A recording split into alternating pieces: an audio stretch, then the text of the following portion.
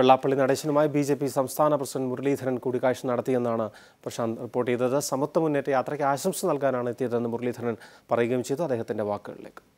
ഞാൻ ഞാൻ അദ്ദേഹത്തിന് ആശംസ നേരാൻ വേണ്ടിയിട്ട് വന്നത്. അല്ല ഇത് മുന്നണിയല്ല. ഇത് മുന്നണിയല്ല. ഇത് ഇത് സമത്വ മുന്നേറ്റ യാത്രയാണ്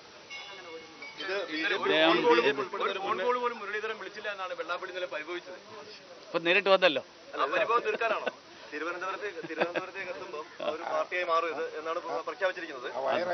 ഈ പിന്നെ ഈ ഈ പാർട്ടി ഉൾപ്പെടുന്ന മുന്നണി ബി ജെ പിയുടെ സംവിധാനത്തിലുള്ള ഒരു മുന്നണിയാകുമോ അതൊക്കെ നമുക്ക് ആലോചിച്ചിട്ട് പറയാം.